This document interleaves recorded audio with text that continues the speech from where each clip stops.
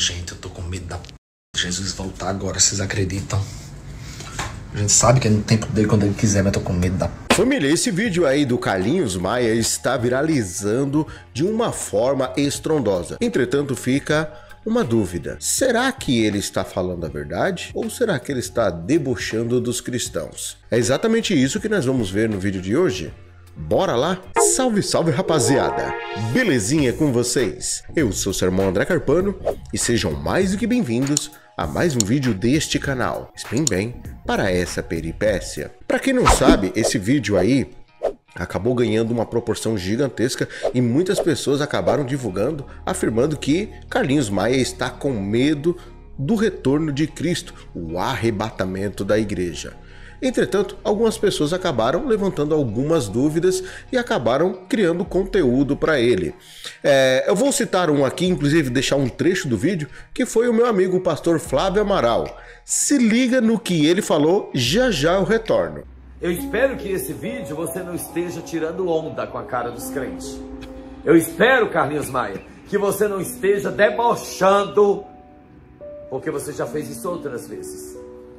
Eu já fui gay, eu já fui travesti, eu já vivi essa vida aí. E pode ter certeza que o maior motivo de eu ter saído dessa vida foi medo de ir para o inferno. As outras coisas, os outros interesses, as outras é, é, condições, é, os outros motivos vieram depois disso.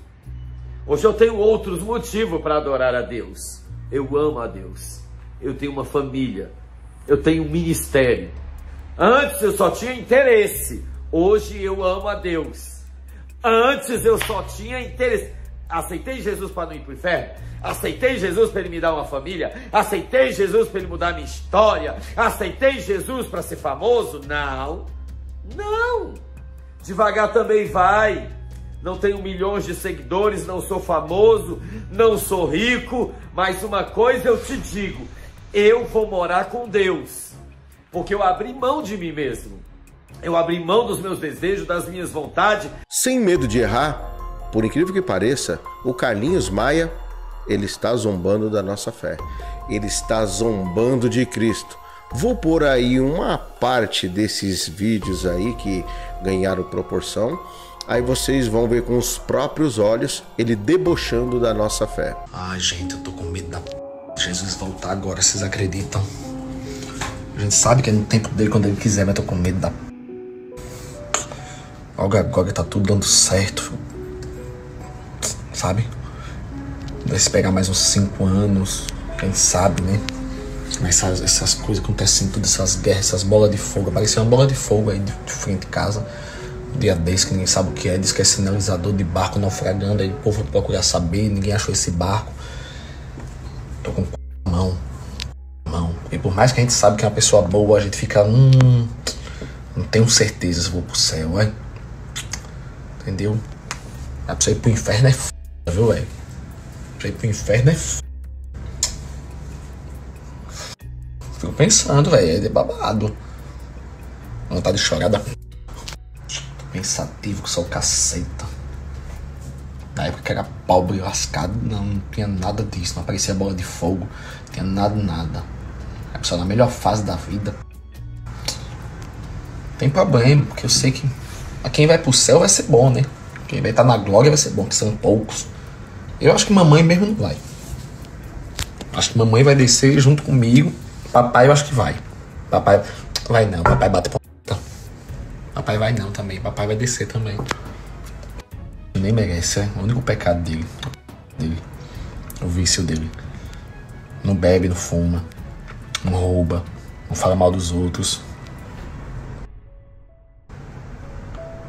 Será, pô, papai não merecia não ir pro inferno não, hein? O Lucas é bem capaz de ir pro céu. O Lucas é bem capaz de ir pro céu, você acredita? Mas é baitola, né? Na Bíblia diz que baitola não vai pro céu. Eu não sei porque uma coisa me diz que isso, né? O, o Lucas é capaz de ir, ó. O Lucas vai. Lucas vai. Vai, vai, vai, vai.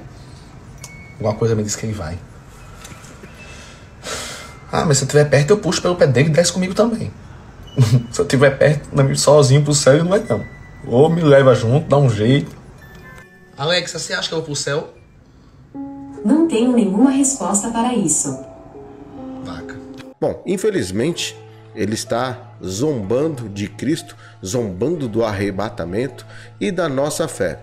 É, depois de que ele se associou a alguns pastores e famosos e algumas celebridades do meio religioso. Que honra ter você aqui. Ei, Renalda, quando você diz que vem, parece, sabe, entra um raio de sol nessa casa. Amém, glória a Deus, glória a Deus. Eu fico muito feliz pelo convite e contem sempre comigo com toda certeza. Ei, eu amo ter você aqui de verdade, viu? Amém, meu amor.